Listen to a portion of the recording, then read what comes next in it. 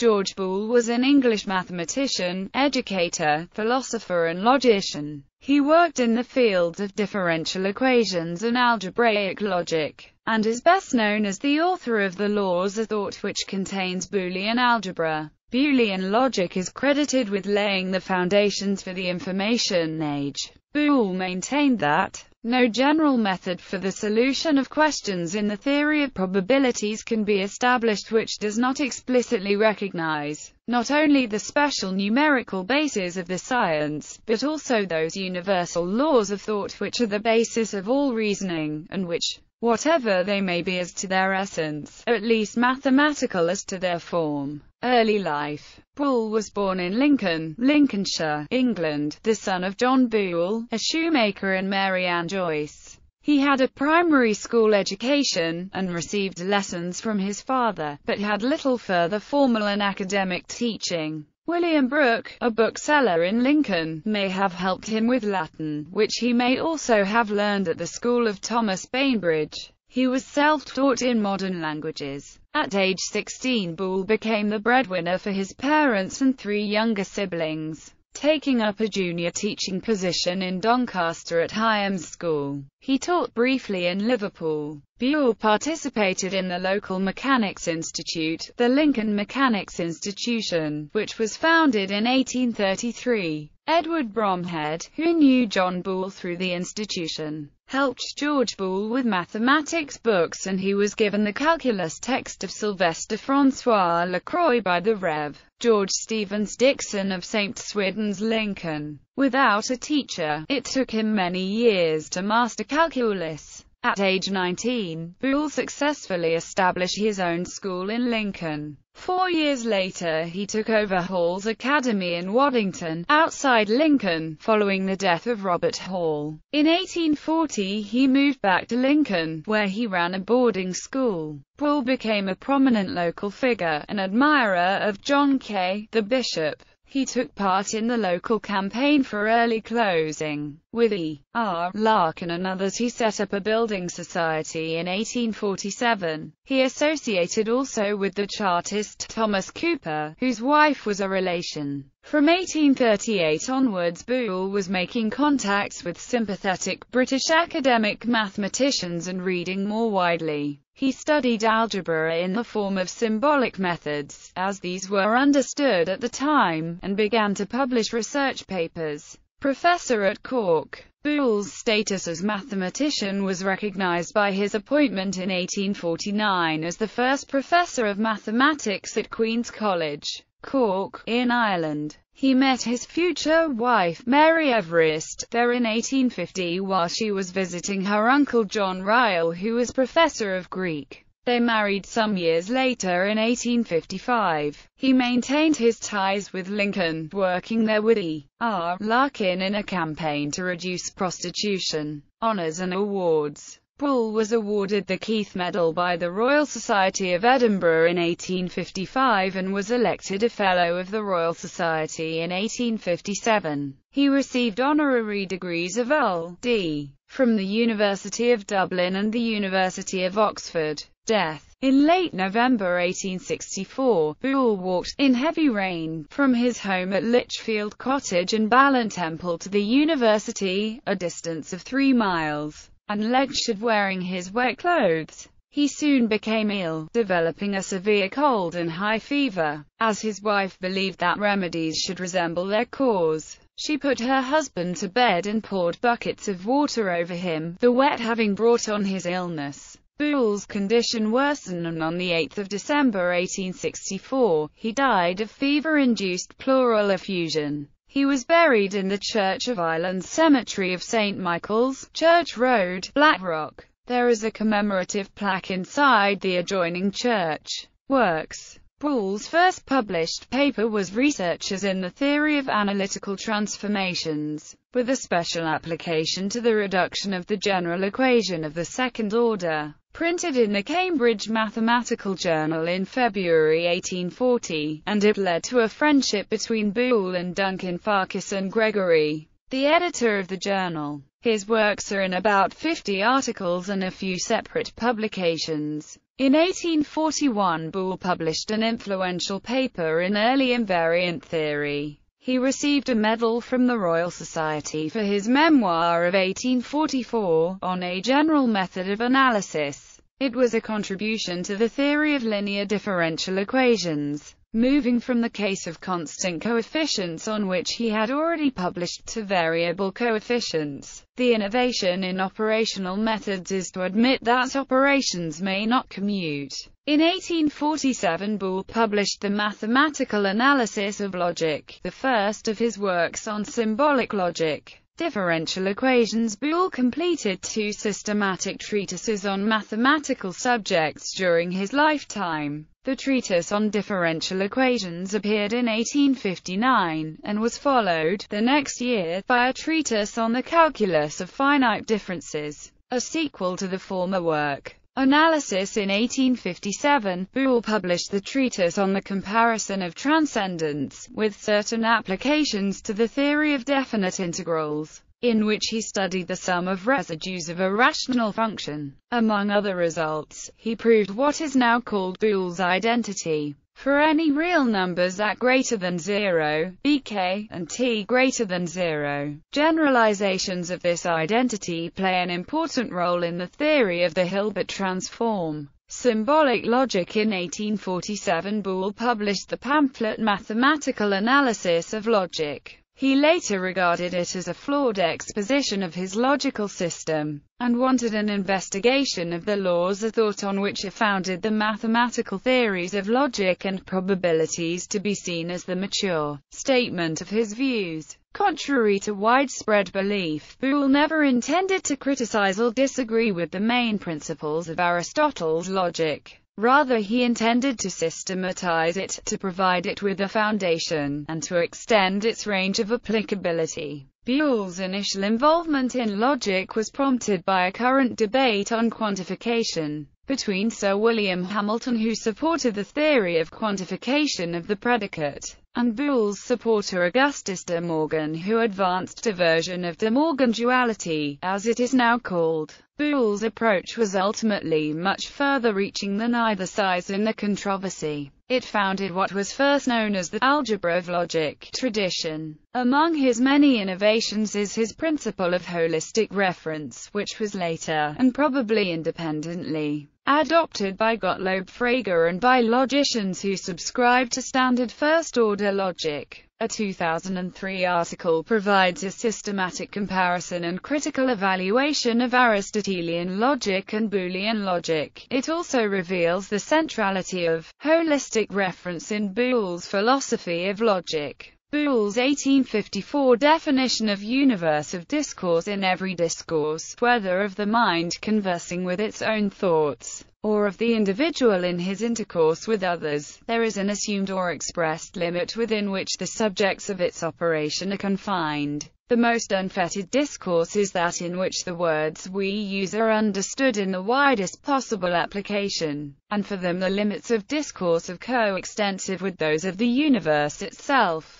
but more usually we confine ourselves to a less spacious field. Sometimes, in discoursing of men we imply that it is of men only under certain circumstances and conditions that we speak, as of civilized men, or of men in the vigor of life, or of men under some other condition or relation. Now, whatever may be the extent of the field within which all the objects of our discourse are found, that field may properly be termed the universe of discourse. Furthermore, this universe of discourse is in the strictest sense the ultimate subject of the discourse. Treatment of addition in logic Boole conceived of elective symbols of his kind as an algebraic structure, but this general concept was not available to him. He did not have the segregation standard in abstract algebra of postulated properties of operations, and deduced properties. His work was a beginning to the algebra of sets, again not a concept available to Boole as a familiar model. His pioneering efforts encountered specific difficulties, and the treatment of addition was an obvious difficulty in the early days. Boole replaced the operation of multiplication by the word and, and addition by the word or. But in Boole's original system, plus was a partial operation. In the language of set theory it would correspond only to disjoint union of subsets.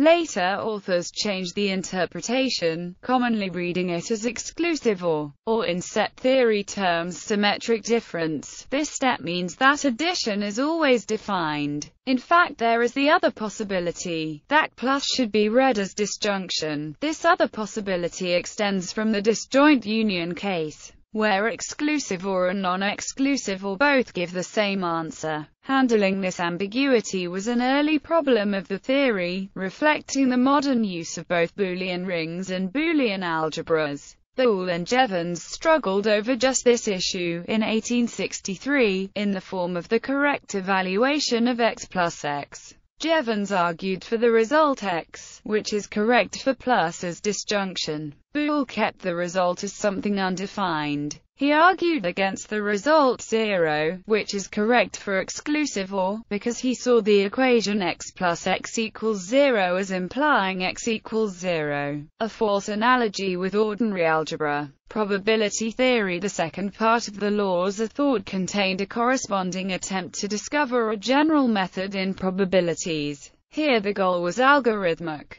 From the given probabilities of any system of events, to determine the consequent probability of any other event logically connected with those events. Legacy Boolean algebra is named after him, as is the crater Boole on the Moon. The keyword bool represents a Boolean data type in many programming languages, though Pascal and Java, among others, both use the full name Boolean. A road called Boole Heights in Bracknell, Berkshire is named after him. 19th century development Boole's work was extended and refined by a number of writers, beginning with William Stanley Jevons. Augustus de Morgan had worked on the logic of relations, and Charles Sanders Peirce integrated his work with Boole's during the 1870s. Other significant figures were Platon Sergeyevich Pouretsky, and William Ernest Johnson. The conception of a Boolean algebra structure on equivalent statements of a propositional calculus is credited to Hugh McColl, in work surveyed 15 years later by Johnson. Surveys of these developments were published by Ernst Schroeder, Louis Couturat, and Clarence Irving Lewis. 20th century development In 1921 the economist John Maynard Keynes published a book on probability theory, a treatise of probability. Keynes believed that Boole had made a fundamental error in his definition of independence which vitiated much of his analysis. In his book The Last Challenge Problem, David Millett provides a general method in accord with Boole's system and attempts to solve the problems recognized earlier by Keynes and others. Theodore Hale Hailperin showed much earlier that Boole had used the correct mathematical definition of independence in his worked-out problems. Boole's work in that of later logicians initially appeared to have no engineering uses. Claude Shannon attended a philosophy class at the University of Michigan which introduced him to Boole's studies. Shannon recognized that Boole's work could form the basis of mechanisms and processes in the real world and that it was therefore highly relevant. In 1937 Shannon went on to write a master's thesis, at the Massachusetts Institute of Technology in which he showed how Boolean algebra could optimize the design of systems of electromechanical relays then used in telephone routing switches. He also proved that circuits with relays could solve Boolean algebra problems. Employing the properties of electrical switches to process logic is the basic concept that underlies all modern electronic digital computers.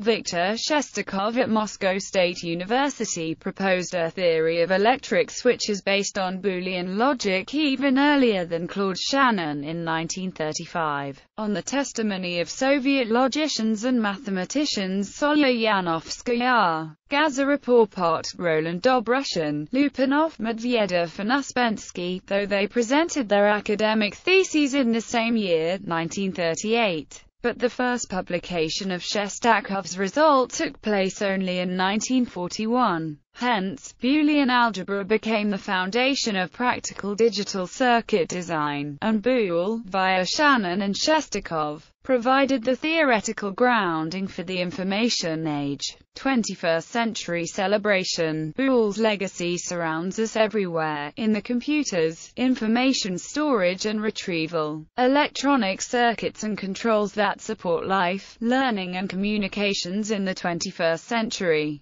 His pivotal advances in mathematics, logic and probability provided the essential groundwork for modern mathematics. Microelectronic Engineering and Computer Science, University College Cork. 2015 sees the 200th anniversary of George Boole's birth, in 1815. To mark the bicentenary year, University College Cork will join admirers of Boole around the world to celebrate his life and legacy. UCC's George Boole 200 project features events, student outreach activities and academic conferences on Boole's legacy in the digital age, including a new edition of Desmond Machalet's 1985 biography The Life and Work of George Boole, a prelude to the digital age. The search engine Google marked the 200th anniversary of his birth on 2 November 2015 with an algebraic reimaging of its Google Doodle views.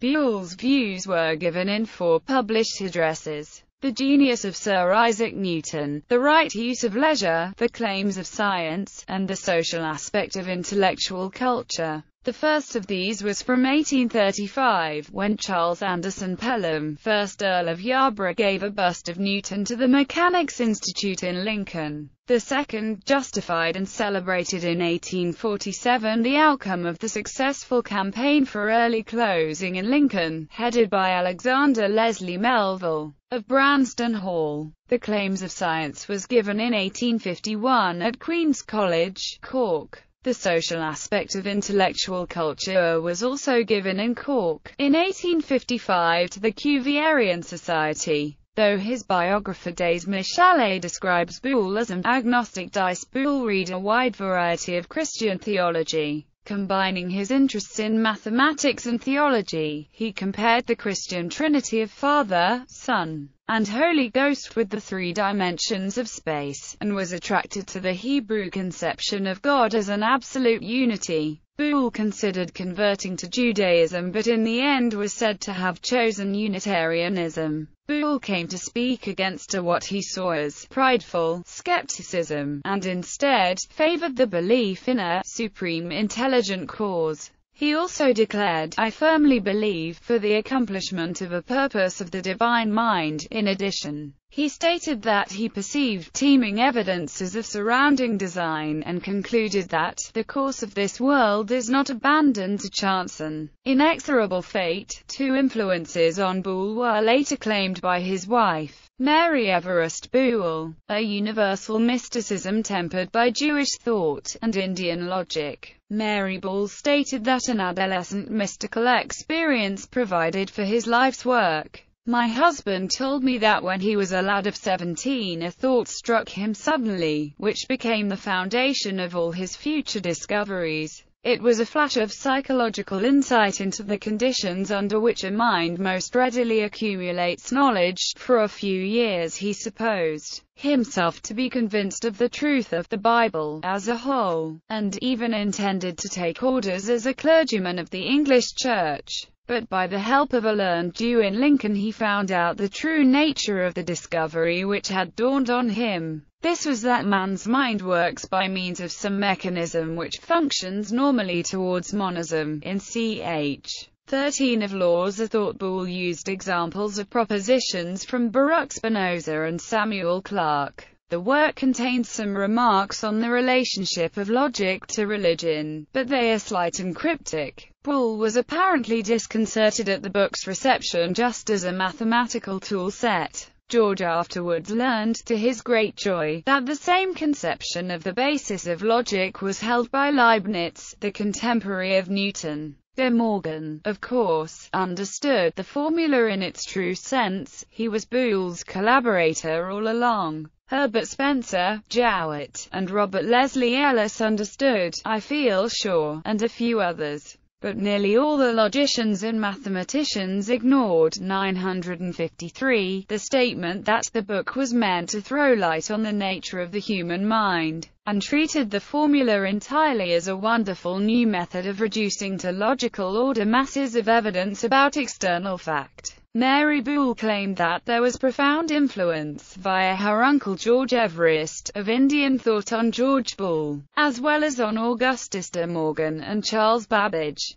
Think what must have been the effect of the intense Hinduizing of three such men as Babbage, De Morgan, and George Boole on the mathematical atmosphere of 1830-65. What share had it in generating the vector analysis and the mathematics by which investigations in physical science are now conducted? Family in 1855 he married Mary Everest, who later wrote several educational works on her husband's principles. The Booles had five daughters. Mary Lucy Margaret who married the mathematician and author Charles Howard Hinton and had four children, George, Eric, William and Sebastian inventor of the jungle gym. Sebastian had three children, John Hinton peace activist, William H. Hinton visited China in the 1930s and 40s and wrote an influential account of the communist land reform. Joan Hinton worked for the Manhattan Project and lived in China from 1948 until her death on 8 June 2010. She was married to Sid Engst. Margaret married Edward Ingram Taylor, an artist. Their eldest son Geoffrey Ingram Taylor became a mathematician and a Fellow of the Royal Society. Their younger son Julian was a professor of surgery. Alicia, who made important contributions to four-dimensional geometry. Lucy Everest, who was first female professor of chemistry in England. Ethel Lillian, who married the Polish scientist and revolutionary Wilfred Michael Voynich and was the author of the novel The Gadfly his own school in Lincoln. Four years later he took over Hall's Academy in Waddington, outside Lincoln, following the death of Robert Hall. In 1840 he moved back to Lincoln, where he ran a boarding school. Boole became a prominent local figure, an admirer of John Kaye, the bishop. He took part in the local campaign for early closing. With E. R. Larkin and others he set up a building society in 1847. He associated also with the Chartist Thomas Cooper, whose wife was a relation. From 1838 onwards Boole was making contacts, and which, whatever they may be as to their essence, at least mathematical as to their form. Early life Boole was born in Lincoln, Lincolnshire, England, the son of John Boole, a shoemaker and Mary Ann Joyce. He had a primary school education, and received lessons from his father, but had little further formal and academic teaching. William Brooke, a bookseller in Lincoln, may have helped him with Latin, which he may also have learned at the school of Thomas Bainbridge. He was self-taught in modern languages. At age 16 Boole became the breadwinner for his parents and three younger siblings. George Boole was an English mathematician, educator, philosopher and logician. He worked in the fields of differential equations and algebraic logic, and is best known as the author of The Laws of Thought which contains Boolean algebra. Boolean logic is credited with laying the foundations for the information age. Boole maintained that no general method for the solution of questions in the theory of probabilities can be established which does not explicitly recognize not only the special numerical bases of the science, but also those universal laws of thought which are the basis of all reasoning, with sympathetic British academic mathematicians and reading more widely. He studied algebra in the form of symbolic methods, as these were understood at the time, and began to publish research papers. Professor at Cork, Boole's status as mathematician was recognized by his appointment in 1849 as the first professor of mathematics at Queen's College, Cork, in Ireland. He met his future wife, Mary Everest, there in 1850 while she was visiting her uncle John Ryall who was professor of Greek. They married some years later in 1855, taking up a junior teaching position in Doncaster at Heigham's School. He taught briefly in Liverpool, Boole participated in the local Mechanics Institute, the Lincoln Mechanics Institution, which was founded in 1833. Edward Bromhead, who knew John Boole through the institution, helped George Boole with mathematics books and he was given the calculus text of Sylvester Francois Lacroix by the Rev. George Stevens Dixon of St. Swithin's, Lincoln. Without a teacher, it took him many years to master calculus. At age 19, Boole successfully established